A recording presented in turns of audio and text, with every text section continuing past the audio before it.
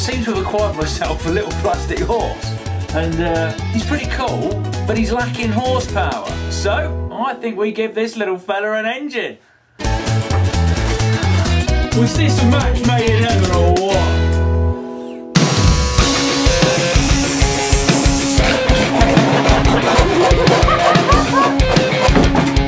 The head was already broken.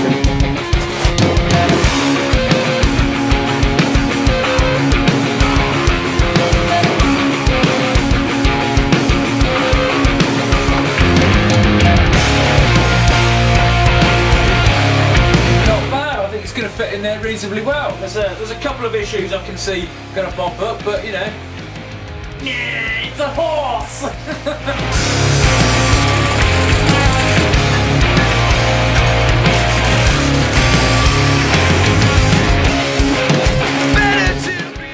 Make them a bit longer. Stop horsing around.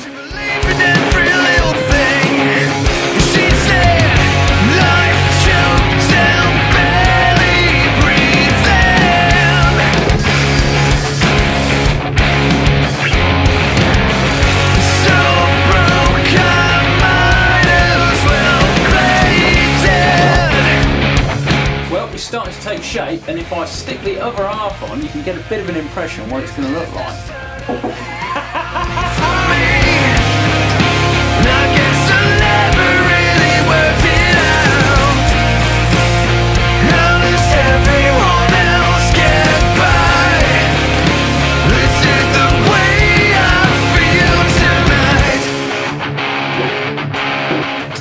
So, back wheels look really good. Front wheels, the legs kind of stick out a bit. So I think when I chop them off and fix them to the suspension, they'll kind of be more directly straight down as if the horse is like, hmm, yes. It's going to be a very professional horse.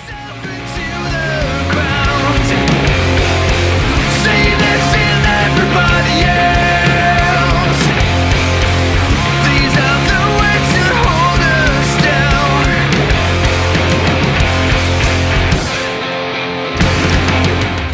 So, progress pretty cool. Got the card mounted, that's pretty neat. Electrics are all back on, tick that box. Next thing, got to put my footrest back on. I'm going to hang them a little bit lower so I'm not all scrunched up on it. And I'll have to kind of like alter the gear stick and things like that. But, uh, and also get rid of the stand because I don't think horses don't have stands, do they? They just they just sit down or, or lay down or something like that.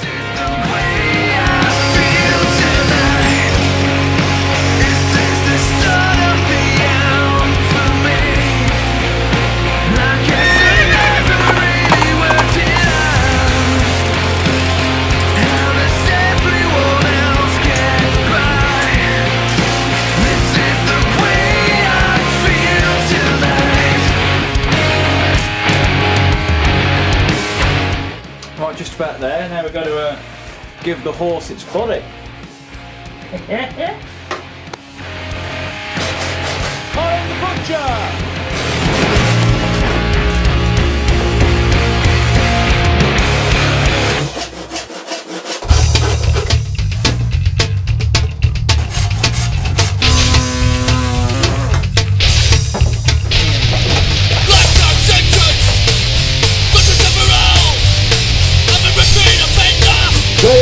Back my horse.